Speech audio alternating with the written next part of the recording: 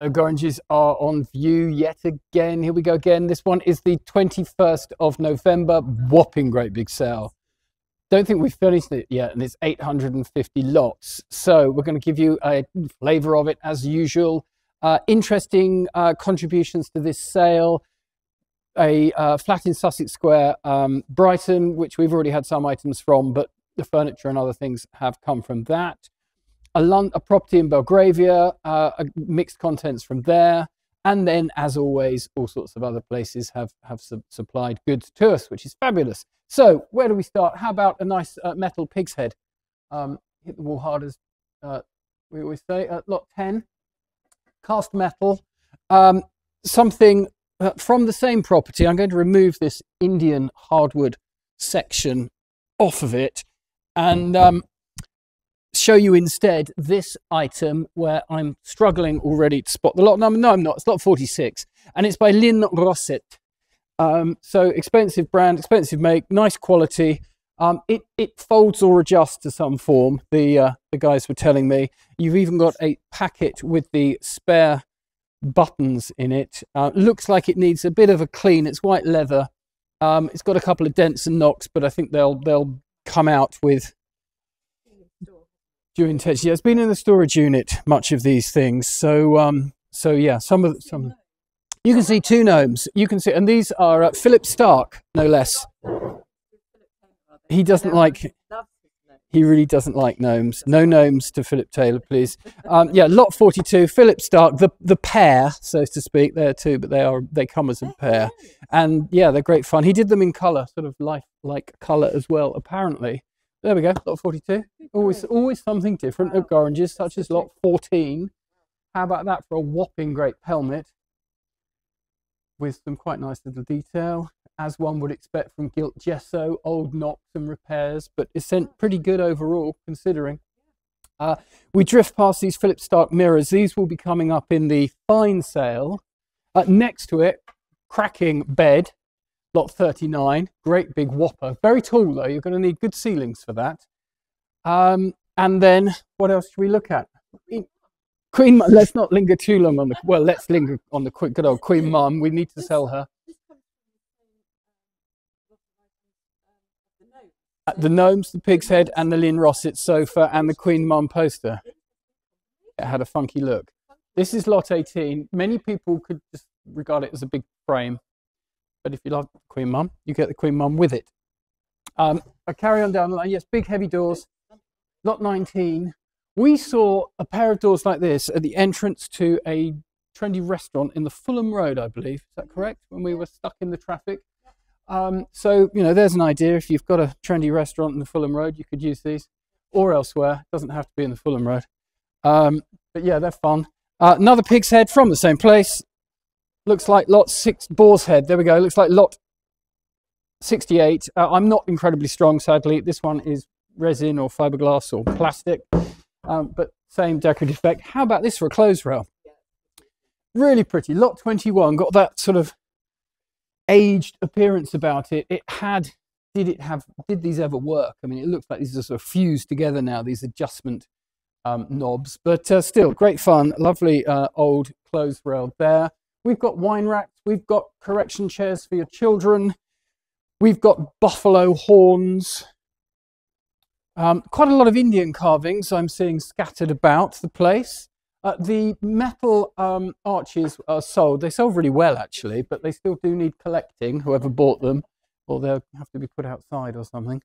Um, continuing painted furniture, rather showy reclining um, seats there. It is lot number 109. You can adjust it. Not much though. You can, you can, you've got three positions. So I suppose that's enough. Nice big, oh, plastic resin urn. There we go. A lot easier to move, not heavy, waterproof. Fabulous. You know, who needs the real thing?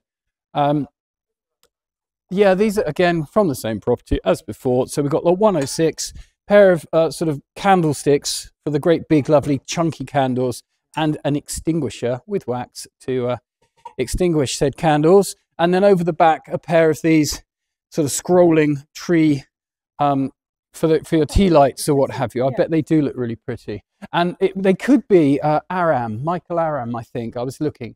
Uh, yeah, another nice big bed. You think this is Ansota bed, don't you? It's lot eighty-two. Um, yes, with a well-fitting, Yes. new, barely used by the look of it, Vi-Spring mattress, but we don't know. There's no guarantee on the mattress. One could always throw it away and renew it.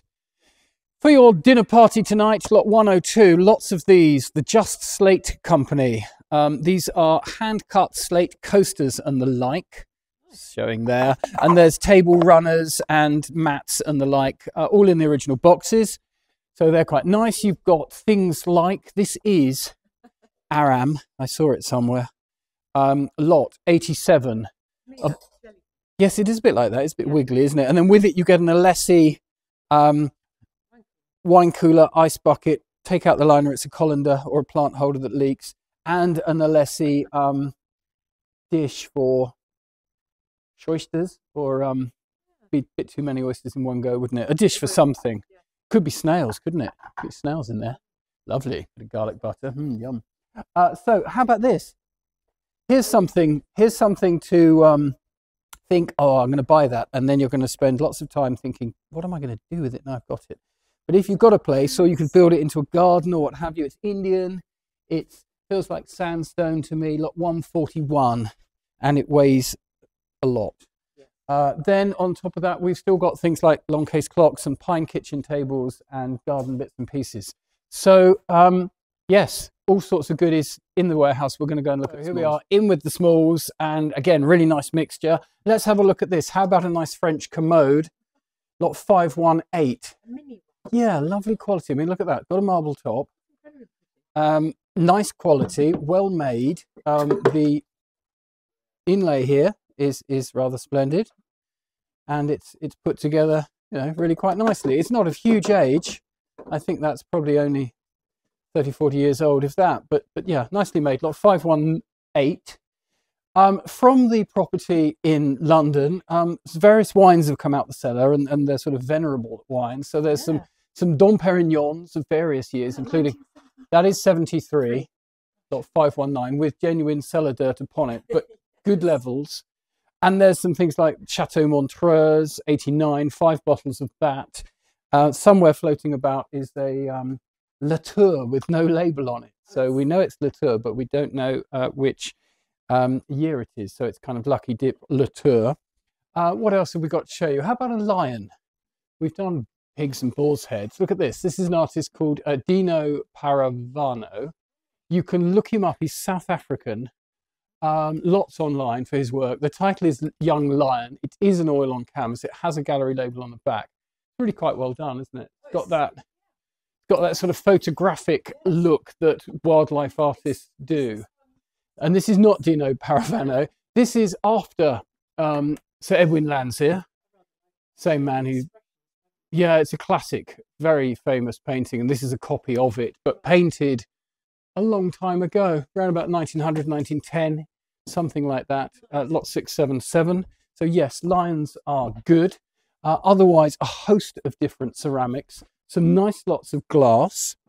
Look at this, lot 487. Not people don't appreciate glass the way perhaps they used to, and a lot of the old school glass dealers are no longer um, in business anymore. But this lot, 487, look at this pair of these, superbly cut, um, cut to the underside, pair of those dishes. Hard to spot a chip, which is a rarity when something's of that age. And look at this one, look. Again, you know, this is 200 years old or so. That lovely lead colour that you get with the Denton Antiques label in it, um, with the original stand, Look, star cut to the base, star cut to the base of the dish. Another larger piece, various other bits. So a little mixed lot of glass there. Look, this, this again, I'm raving on about this, but still, look at that, beautifully cut, nice lead colour, and all these little lappets are still intact. Long may, long may it remain so. Well, maybe not so much. No, something in glass more contemporary and, and a bit more solid. Lot 504. This is classic um, Orrefors, the Swedish glass factory, with the game birds, looks like pheasants. Um, quite a nice lump of glass at that. Um, then we've got a mixture. Our, our, our, friend from France has been in, bringing over various assorted, a lot of Art Deco type pieces and period pieces, such as Lot 500, the uh, stork looking in the water, and uh, Lot 493, the footballer in Spelter, very nicely modelled. You like this? Yeah. Let's pick on something awkward, don't you? Not at all. This is um, 499. So this one is very much uh, secessionist in this in style. So the Austro-German form of arts and crafts with the, this sort of geometric stylized design is typical secessionist. Um, not marked to the underside that I can see, and with it you get this copper and brass pot that is not really secessionist. It's just a pot. Um, it's just pretty. There we go. So there we go. One always has to go for what you like, don't yeah. we? We always say this every time. Um, so let's drift around. There's a few paintings. Well, she looks a bit like Marilyn Monroe, according to uh, the label. Oh, really? Yeah, Marilyn Monroe, Malibu Beach. Um, and this was um, painted by Tommy Merrifield, so I imagine it's. You know, and then he has. He's just a poster, but he has signed it in the flesh, so to speak. Um, there's some good guitars in the sale. Paul, Paul is our guitar man, and he says the guitars are very good. There's a nice mixture in here. Um, Ovation guitars, apparently very good make, with the rounded back more desirable, he says. That have a look at the website as always. There's a Fender here, there's a Gibson. So there's some good guitars in mint condition because the chap that owned them didn't play the guitar. He just liked owning guitars. So that gives you the ideal condition that they haven't been rock and rolled. Um, something a bit older, but rather nice to my eye. 697s, pair of engravings. View of the Menagerie and Pavilion, the Royal Gardens at Kew. And another one there, the Aviary and Parterre at Kew. And uh, really nice these. Um, I don't know, 1770s, 1780s. Uh, genuine engravings of the period, hand coloured, which means someone's coloured them in, in watercolour by hand. Uh, lovely frames, superbly conditioned frames. So nice lot there, lot 697. Um, we've got some taxidermic fish. We've got lots of uh, blue and white ceramics and pottery and the like. Um, there are other things such as these. Um, now, know what to make on these. Riedel, you said, didn't you? Yeah, they're Riedel, Riedel, Riedel. Um, candlesticks, I, yeah, candlesticks, as showing in the picture. Um, more champagne. Can never have too much champagne. Various other glasses. Von Romane there. Look, 389 from 1959, uh, looking a little bit sad around the capsule, but it hasn't had the cork removed. Nice lot of Baccarat glass, 442. This is Baccarat with the individually fitting stoppers, so they all are purpose made to fit. Um, you've got a set of six bottle decanters and a Baccarat candelabrum as well. Yeah, that's substantial, all one piece. Um, oh, actually, no, these these rotate interestingly. But anyway, there we go. That's uh, a lot of glass. And then carrying on all sorts of other goodies, uh, more pictures. Yes, I was. Yes, so we've got um, some Ruskin vases, Ruskin pottery, lot 250. Classic, that orange is a very classic Ruskin colour, but then also there is there are other options available, such as, gets the number out, 253. There we go, got the Ruskin stamp, 1923, and then these lovely sort of iridescent glazes. Um, Jack showed a bowl, which is this one, 285. That is incredibly thin and delicate, finely potted. Got 285. Ruskin again. There's Moorcroft. There's always Chinese. These are dogs, and they look a bit like Frank. Whoops, Frank Butler. Um, but they're not Frank Butler. They're someone similar uh, from 1876. Inworth did similar things. 261. Um, it's all here as ever. So come along and have a look. There's a really good lot of silver yeah. in this one, but there's so much there you're going to have to look online to see it. Um, as always, there's jewelry as well. So really nice mixed sale, over 850 lots. Come along and view it. You'd be crazy not to. You'd miss out on all sorts of goodies. Uh, otherwise, send us inquiries and we will respond as quickly as we can as ever. And uh, we look forward to uh, seeing you one way or the other. Thank you very much.